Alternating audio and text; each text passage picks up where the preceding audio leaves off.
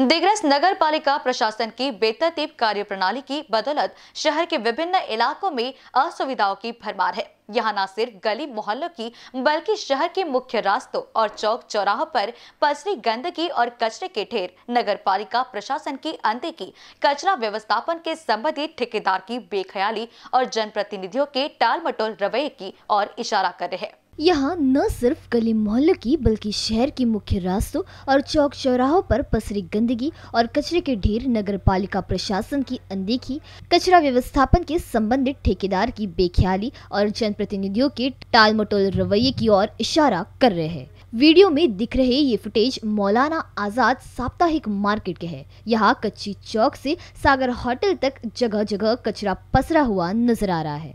मालूम हो कि शहर के प्रमुख रास्तों में इस रास्ते का शुमार होता है।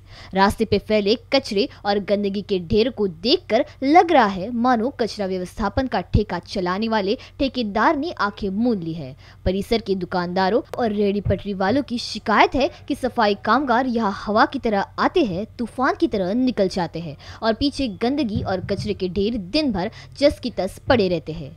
बीते कई दिनों से यही सिलसिला जारी है। दबे होटो चर्चा यह भी है कि ठेकेदार के साथ कुछ जनप्रतिनिधियों की साठ गार्ड की कमर्शियल संबंध के तहत प्रतिमा हफ़्ता बंदा हुआ है। इसलिए भी इस समस्या की कोई सुध लेता नहीं दिख रहा है। ऐसे में इस राह से गुजरने वाली रागिर और आम नागरिक स्थानीय प्रशासन से जगह जगह फैले कचरे की समस्या से निजात दिलाने और प्रतिदिन इस मार्केट परिसर और रास्ते की साफ़ सफ़ाई करने की मांग कर रहे हैं।